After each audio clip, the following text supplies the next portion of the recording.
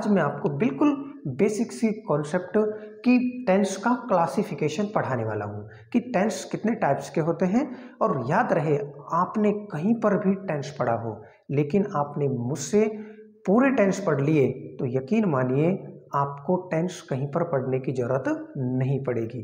क्योंकि मैं पढ़ाता हूँ आपको विदाउट फार्मूलाज और विदाउट फार्मूला यदि आपने सीख लिए तो आपको इंग्लिश के किसी भी चैप्टर में आपको कोई भी प्रॉब्लम नहीं आने वाली है। हालाँकि पढ़ाने को तो हम इंग्लिश का कोई भी टॉपिक पढ़ाया जा सकता है, लेकिन एक बिगनर के लिए ज़रूरी है कि उसको टेंस का बेसिक नॉलेज होना ज़रूरी है। उसके लिए ज़रूरी है कि उसको आना चाहिए कि टेंस के पार्ट्स, कितने टेंस के पार्ट्स होते हैं, है ना? कितने वो भागों में बटे होते हैं। इन सभी चीज़ों का सबसे बेसिक ज्ञान आना ज़रूरी है। तो आइए हम आज के वीडियो की करते हैं शुरुआत। तो सुनिएगा। तो सबसे पहले देखना कि हम आपसे बात करें टेंस के बारे में। किसके बारे में बताओ टेंस। आपको सबसे पहले तो ये पता होना चाहिए कि सर टेंस। टेंस को यदि हम कहें कि बिल्कुल अपनी बेसिक लैंग्वेज में कहें तो टेंस को हिंदी में क्या कहते हैं अपन? काल कहते हैं। क्या कहते हैं बताओ? काल कह देते हैं। अब ये जो काल कह देते हैं तो हम हमारे बेसिक नॉलेज एक गंवार भाषा में देसी लैंग्वेज में हम इसको समझें। तो हम ऐसे समझ सकते हैं कि सर टेंस जो होता है, इसको हम अपना क्या मान सकते हैं बताओ? टेंस को अपना क्या माना जा सकता है? दादाजी माना जा सकता है। क्या माना जा सकता है बताओगे क्या? इसको अपना क्या माना जा सकता है? दादाजी मान सकते हो, याद करने के पर मैं। फिर से यही बोल रहा हूँ, वीडियो को पूरी देखना। यकीन मानिए, इस अंदाज में अभी तक किसी ने भी आपको टेंस का क्लासिफिकेशन नहीं बताया होगा। और आप एक बार सीख गए तो आप कभी भूलोगे भी नहीं। देखना तो टेंस की बात करें तो टेंस को हमने क्या मान लिया है? दादाजी मान लिया है। और हम देखते हैं कि दादाजी के कितने बेटे हैं? तीन। कितने बेटे बताओ? तीन। जिनमें से सबसे बड़े बेटे का नाम हम याद रख सकते हैं, क्या बताओ? प्रेजेंट सबसे बड़े बेटे का नाम क्या याद रख सकते हैं? प्रेजेंट। सर, इससे छोटे का नाम भी तो याद रख सकते हैं। क्या? पास्ट याद रखेंगे। क्या याद रखेंगे बताओ? पास्ट। और सर, जब सबसे छोटे वाले का नाम क्या याद रखेंगे? हम याद रखेंगे, बताओ क्या? फ्यूचर याद रखेंगे। बोलो, क्या याद रखोगे?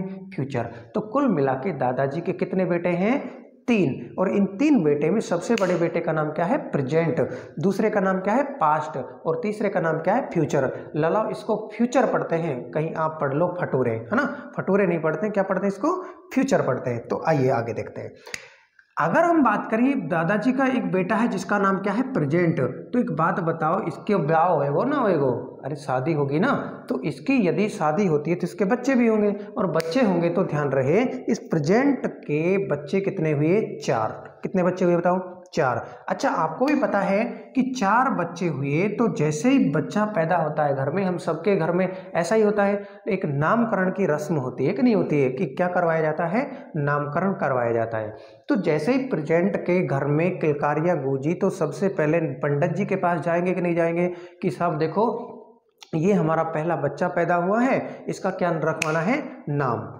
अब जैसे ही पंडित जी शकल देखे इस बच्चे की तो कहता है, ओहो, ये तो क्या है? सिंपल सा है। ये छोरा कैसा है? सिंपल सा है। तो इसका नाम ही क्या रख दिया जाए बताओ? सिंपल रख दिया जाए। क्या नाम रख दिया जाए? सिंपल। तो इसका नाम क्या रख देंगे बताओ हम? इसका नाम रख देंगे बताओ क्या? सिंपल नाम रख दिया। किसका नाम रख दिया? प्रेजेंट के सबसे बड़े बेटे का नाम क्या रख दिया? सिंपल। इसके जस्ट आ जावे दूसरों। मीन्स लगातार आ जाता है। तो लगातार आने की वजह से इसका नाम क्या रख दिया बताओ हमने? कंटिन्यूस दूसरे बेटे का नाम क्या रख दिया? कंटिन्यूस इसका नाम रख दिया। बोलो, इतनी बात समझ में आई कि नहीं आई? अच्छा बात आती है किसकी? कि तीसरा बेटा जब पैदा होगा तो तीसरा बेटा को पैदा होगा तो भी उसका नाम रखवाया जाएगा। उसके पास, जैसे ही उसको पंडित जी के पास लेके जाएँगे, देखो जी, हमारा ये तीसरा बेटा और पैदा हुआ है तो इसका भी क्या किया जाए? नामकरण किया जाए। तो नामकरण करेंगे तो पंडित जी जैसे ही उसको अपनी गोद में लेता है तो वो पंडित जी की तरफ़, है ना, एकदम मुस्कुरा जाता है। और जैसे ही मुस्कुराता है तो पंडित जी, ओ, तेरी ये तो क्या है? पहले से ही क्या है? परफेक्ट है। आज की दुनिया का पहले से ही ये तो क्या है? परफेक्ट है। तो इसका नाम ही क्या रख दिया जाए बताओ? परफेक्ट। तो इस नंबर तीन, नंबर का जो बेटा है, इसका नाम क्या रख दिया गया बताओ? परफेक्ट नाम रख देते हैं। क्या रख देते हैं बताओ? परफेक्ट नाम रख दिया गया है। नंबर किसकी बात आएगी? चार की। अब आपको भी पता है कि पंडित जी फ्री फोकट में तो काम करता नहीं है, नहीं ना? वो भी नामकरण करवाने के कुछ पैसे लेगा कि नहीं लेगा? दान दक्षिणा तो लेगा ही ना? तो हम गरीब आदमी हैं, है ना? अब गरीब आदमी बेचारा कहाँ से कितना पैसा लाए? और वैसे भी हम क्या हैं? इंडिया वाला है। इंडिया वाला वैसे ही ज़्यादा तेज रहे, है ना? गोरी भैंस को भी फेरन लवली लगा के, है ना?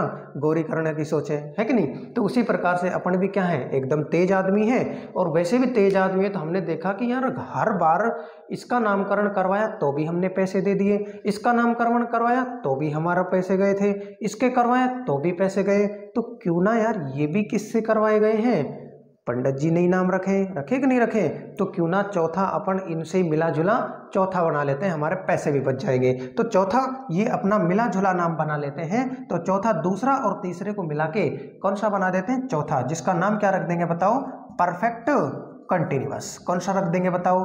परफेक्ट कॉन्टिन्यूस एक इस चौथे बेटे का नाम रख देंगे। क्या रख देंगे बताओ? परफेक्ट कॉन्टिन्यूस इतनी बात समझ में आई कि नहीं आई? क्लियर है कि नहीं क्लियर है? चलो ठीक है। इसके बाद समझते हैं अपन किसका? पास्ट का। अब जैसे पास्ट की बारी आएगी तो आप कहोगे, सर, जो पास्ट है, इसका भी तो शादी होगी कुछ दिन बाद। इसकी शादी हुई तो इसके भी बेटे कितने? चार। ये भी क्या कहेगा? बेटे कितने होने चाहिए? चार। लोग सर, चार ही क्यों? क्योंकि देखो, मेरे बड़े भाई के भी कितने हैं? चार बेटे हैं। तो मेरे भी कितने होने चाहिए? चार। लोग क्यों? क्योंकि अगर बड़ा भाई से लड़ाई हो गई तो कम बेटे हुए तो हम तो हार जाएँगे। अगर बराबर के बेटे होंगे तो कम से कम बराबर की टक्कर तो हो जाएगी। इसलिए बेटे तो कम से कम कितने होने चाहिए? चार। तो फिर नाम कैसे रखोगे? नाम तो मैं ऐसे रखूँगा जैसे मेरे बड़े भाई ने रखे हैं। तो बड़े भाई ने क्या रखे हैं बताओ? बड़े भाई ने रखे हैं। पहले का नाम क्या रखा है? सिंपल रखा है। तो पास्ट भी क्या कहेगा? भाई मैं भी क्या रखूँगा? सिंपल। क्यों? क्योंकि देखो पंडित जी के पास ये भी जाएगा। तो क्या है? पैसे, इसके दान दक्षिणा और लगेगी। गरीब आदमी बेचारा क्या करे? तो इसने भी क्या कर दिया, मैं तो सेम टू सेम नाम कैसे रख लेता हूँ? जैसे मेरे बड़े भाई ने रखे तो दूसरे का नाम क्या रखेगा ये? दूसरे का नाम क्या रखेगा? दूसरे का नाम क्या रखेगा? बताओ कंटिन्यूस रख लेगा। क्या नाम रख लेगा बताओ? कंटिन्यूस सर, तीसरे का नाम क्या रख लेगा? तीसरे का नाम जैसा बड़ा भाई ने रखा था क्या? परफेक्ट रख लेगा। और चौथे का नाम क्या रख लेगा? चौथे का नाम क्या रख लेगा? वही उसी तरीके से क्या रखेगा बताओ? परफेक्ट कॉन्टिन्यूस रखेगा। रखेगा कि नहीं रखेगा? परफेक्ट कॉन्टिन्यूस तो कुल मिला के इस तरीके से इसके भी कितने बेटे हो गए बताओ? चार। हम बात करें किसकी बताओ? नेक्स्ट बारी किसकी आती है? फ्यूचर की। अभी फ्यूचर आपको पता है सबसे छोटा है। है कि नहीं? अब ये भी कहता है कि भाई साहब रखेगा मैं भी अपने बेटे का नाम। वही क्या रखेगा बताओ? ये भी अपने बेटे का नाम क्या रखेगा? सिंपल रखेगा। क्या रखेगा बताओ? सिंपल अच्छा ये दूसरा क्या रखेगा? दूसरा भी अपने बेटे का नाम क्या रखेगा बताओ? कंटिन्यूअस रखेगा। तीसरा अपने बेटे का नाम क्या रखेगा बताओ? परफेक्ट रखेगा। और चौथे की बात करें तो वही होगा, बोलो क्या? परफेक्ट कंटिन्यूअस क्या रखना है? परफेक्ट कंटिन्यूअस ठीक है? तो इस तरीके से ये टोटल जो टेंस है वो कितने हो जाते हैं बताओ आपके?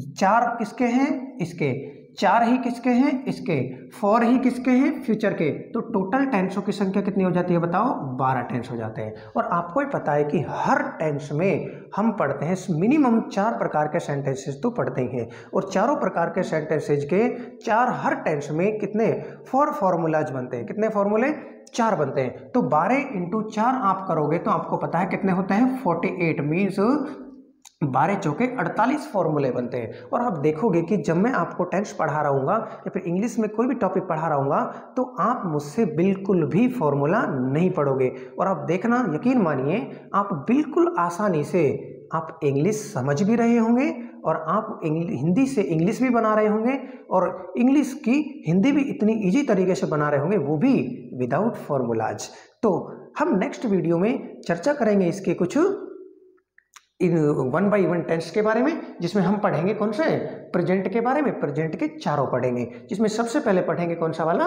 Present simple. तो हम नेक्स्ट वीडियो में मिलते हैं आपको, जिसमें